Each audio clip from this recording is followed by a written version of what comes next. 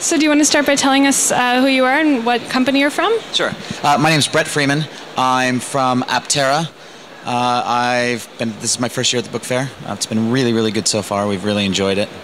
Um, at Aptara, we help publishers uh, manage their information, help them with their digital publishing solutions, and a content strategy to get their information to various devices. And how did your meetings go here at the hotspot?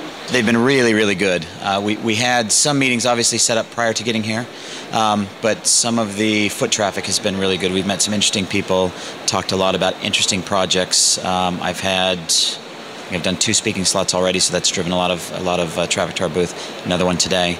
Um, so yeah, so, so we've really really had a good time. So the hotspot has been a good platform for you to be here. Absolutely, yeah. It's nice to have a venue um, where publishers are coming and they know that they're going to talk about digital information and how to manage it.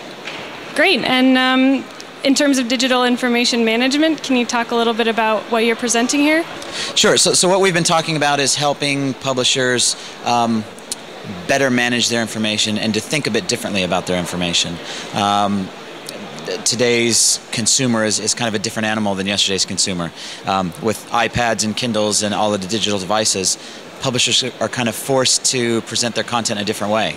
Um, so what we've been talking about uh, is how publishers should be thinking about that information, how publishers should be managing um, and and delivering that information to multiple platforms, so the consumer can get the information not only when they want it, not only how they want it, but most importantly where they want it.